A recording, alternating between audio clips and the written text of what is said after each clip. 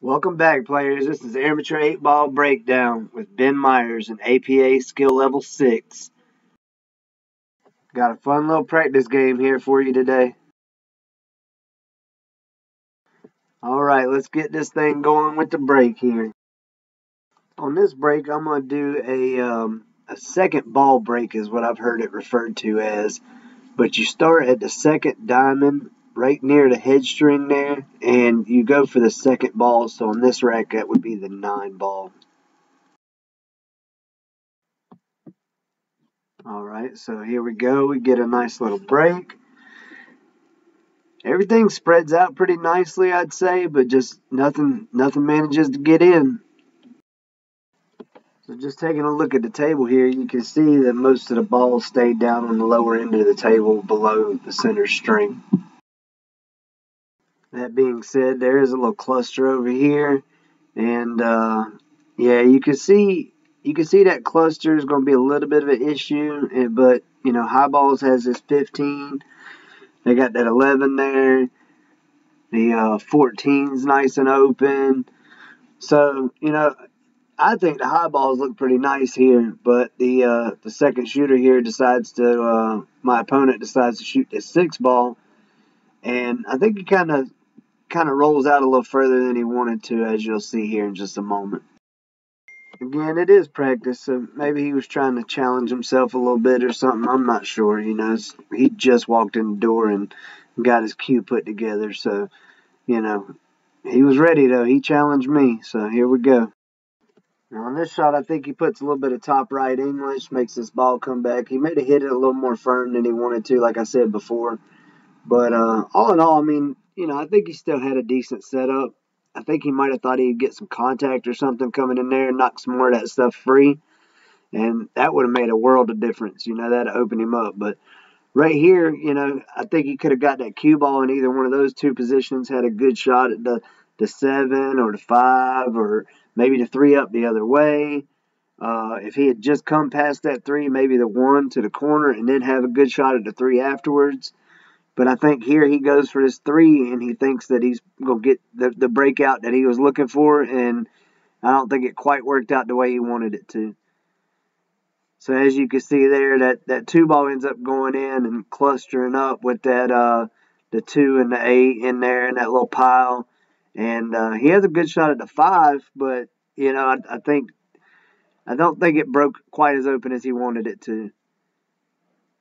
And uh, yeah, I mean he's he's very experienced, so he kind of knew what he was doing here. I th- I think he had, you know, he may have had something with that two to the corner up there, but he ends up going for that one. Maybe the two is what he was trying to line up for, but he ends up going for that one for this corner over here.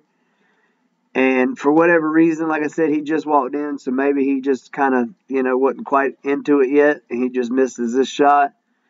And then I proceed to go on a hell of a run here.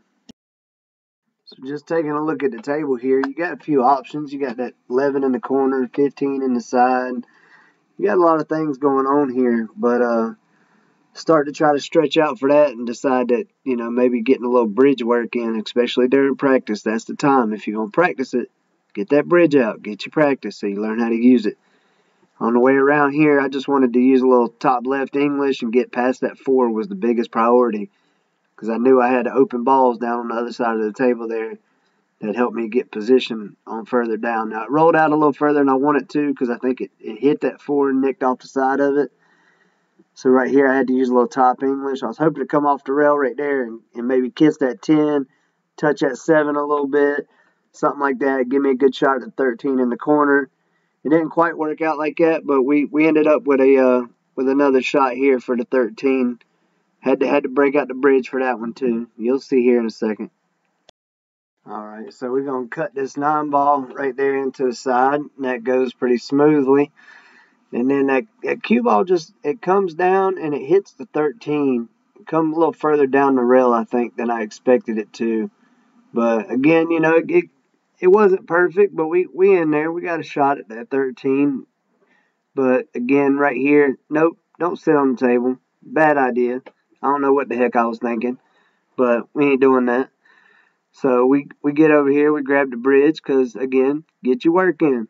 Now's the time. You got to got to know how to use that bridge if you're gonna play on these long tables. So here we go. I use a little top right English. I hit it with a nice speed so I can come back out and have something good up the table. I think I'm trying to set up for that 15 to the side.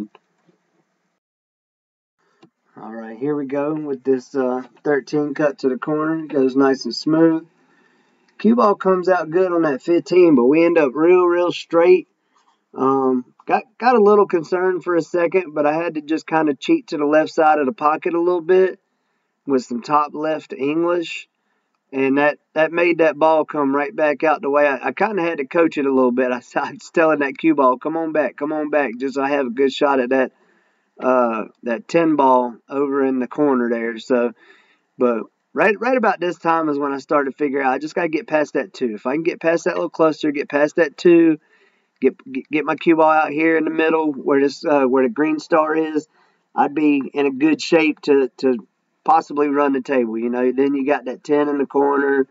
Uh, you know, you can see, I think I went and looked at it right before that shot that I could get that 12 in the side.